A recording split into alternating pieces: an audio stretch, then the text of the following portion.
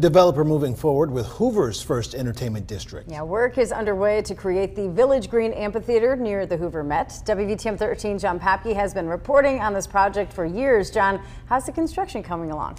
Well, Brittany, over the last few weeks, developer Broad Metro received the final state and city permits needed to get going. And now crews are on the ground to create the future concert spot. Today, we witnessed machinery moving dirt around to prepare the property for construction. The Village Green will include a large concert stage, a seating area for up to 1,500 people, plus various food vendors on site. It's located at Stadium Trace Village, just off the Hoover Met exit of I-459. Now, the project was first announced back in 2020. Then after years of changing opening dates, we investigated the delays last month. Within weeks, the developer had received the green light from ADEM and the city to proceed. Broad Metro expects to hold a soft opening in the next six to nine months before launching a two concert a week schedule by next spring.